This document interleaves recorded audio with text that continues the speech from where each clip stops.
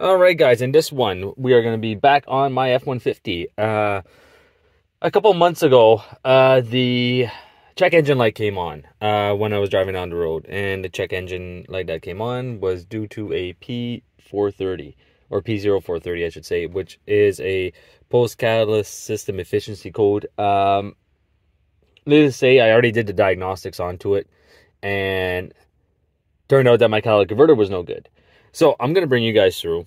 We're going to go ahead and uh, redo this, diagno this diagnosis um, because I don't really have many videos on catalytic converters. But just show you guys how you can use some basic scan data in order to go determine if your catalytic converter is working properly. Uh, when you're dealing with catalytic, catalytic converter efficiency codes, these codes are pretty much soundproof um, unless you're having a really, really big issue uh, with like some sensor wiring or something like that. Of course, you always have to do your due diligence, check all your sensor wiring before you take and try to, before you take and replace any part. But,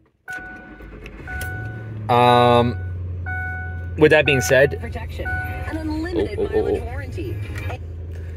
With that being said, um, these codes are pretty soundproof. So if you have an efficiency code, 99% of the time you have an issue with a catalytic converter. I'm just going to show you guys some basic data you guys can use. Um, I have another video on my YouTube channel. I'll post a link up here for everybody. Uh, so you guys can go and see a Kia, if I'm not mistaken, uh, Rio that I had an issue on. All right, so what we're going to do is just click on diagno diagnostics, press OK. I have the car started already. Um, there's going to be two or three codes into my check engine. One is for an evap leak, which is due to a hose that is keeps on disconnecting in the back. Um, I gotta get a proper connector to fix that.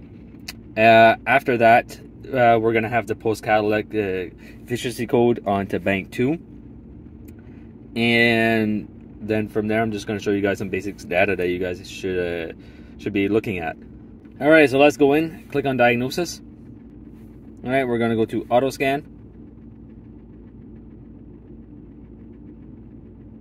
So I have four codes into the PCM. I'll let this go through and I'll bring you guys back.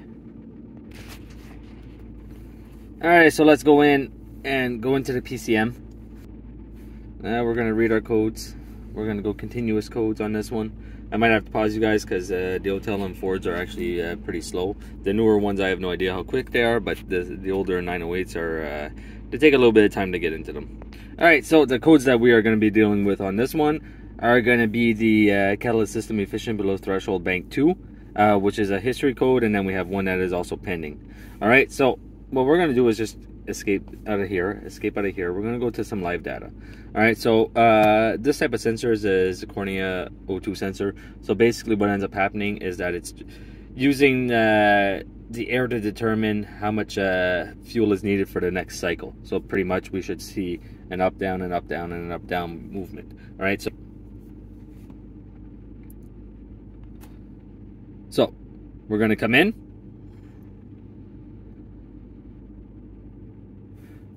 Uh, AC pressure switch is open. That's okay. Uh, we want our O2 sensors. Let's see. Scroll down. We'll take our long-term fuel trim. One, two. We'll take our short-term also. Oxygen sensor switching lean bank. One. Rich lean, rich lean. Uh, oxygen sensor. I don't think that we're going to be seeing the voltages, but we might. Give me a minute. Rear O2 percent. Don't need that. Short-term fuel trim. We do. I might actually have to go into uh, generic on this one, guys. I thought I was gonna be able to get into the oh, their Ford side, but they're not giving me anything onto the voltage values. So what we're gonna do, we're gonna back out. Uh, we'll go back to this area and we'll load into the, uh, the OEM side. And at the OEM side, the generic side. Alright, so let's let this load and I'll be right back. Alright, so we're going to click on this. We're going to go to live data.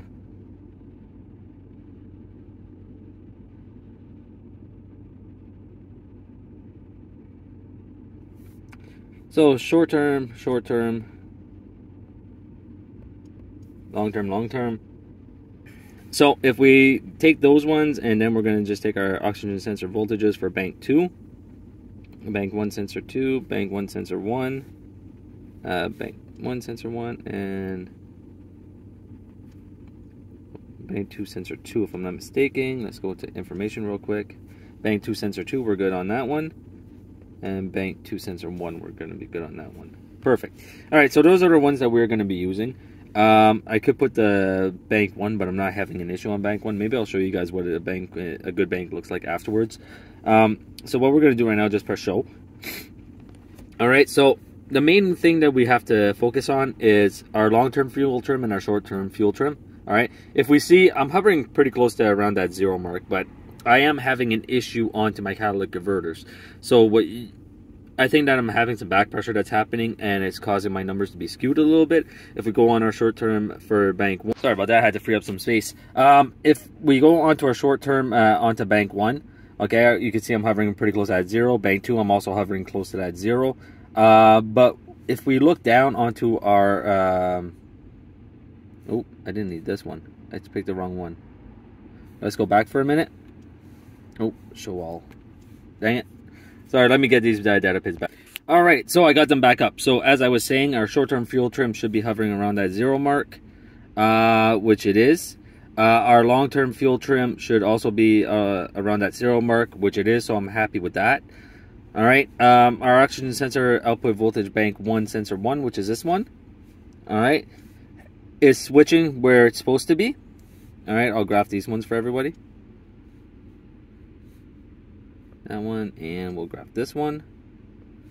Okay, but if we see what is happening here, our rear O2 sensor is actually following our front O2 sensor. So this is our front, this is our rear. Now, typically what ends up happening if your catalytic converter is uh, performing the way it's supposed to, uh, you're going to have a switching operation due to your fuel trims um, or the injection of fuel into the, into the mixture, and it's going to go rich, it's going to go lean, it's going to go rich, it's going to go lean. Now, your rear O2, if your cat is working properly, should be pretty much uh, steady across the board. So there shouldn't be too much fluctuation into it. All right. So just by this, it's showing that my catalytic converter is not performing the way it's supposed to, and that the emissions are actually getting past the first uh, re redundant uh, reductive stage of the catalytic converter and actually hitting into the second one and coming all the way through and hitting into my second O2 sensor. So there's like no nothing happening on to inside of my catalytic converter right now. All right, um, that's what this is telling me. Uh, what we're gonna do is go show all real quick. I'm gonna take these guys off, and we're gonna go with our bank one our voltage and our bank one sensor voltage. I might have an issue onto my bank one also.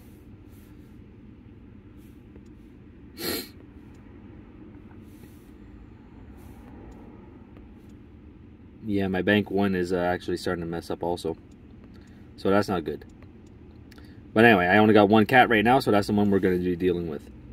All right.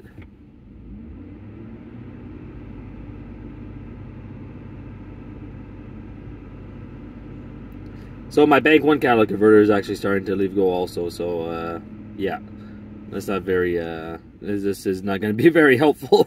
um, last time I checked, it was working properly. So. what we'll do is we'll go into this.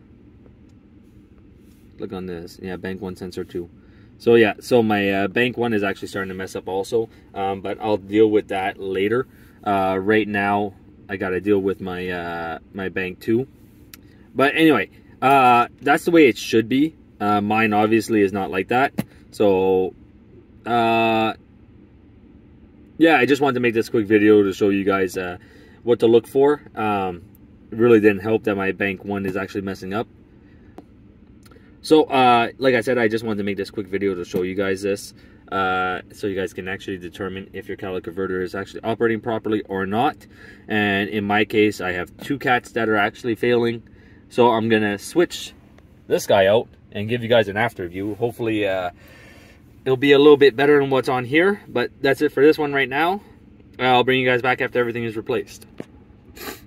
Alright guys, the catalytic converter is now replaced. Um, the car is warmed up and I just wanted to show you guys the way that this should look when everything is working properly.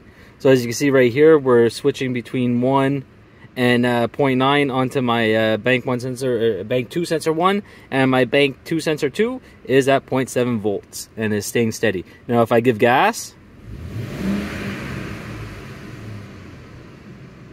there's a reaction and we're just going to take it on to a test drive. We are going to make sure that this guy goes into fuel cut and everything but that seems to be a fix for me. So just give me a moment as we go on a test drive. So everything seems to be working the way it's supposed to. Um, I'll just give you guys a view of this. I'll bring up the RPMs real quick. All right. It sounds a lot better guys than what it did before that's for sure. Uh, right there I went into a fuel cut so what we should see on the screen is a lean we leaned out. We leaned out onto the bank 2 sensor 2. Oh, you guys can't really see that. So we leaned out there and we leaned out there. So that for me is a fix on this, guys.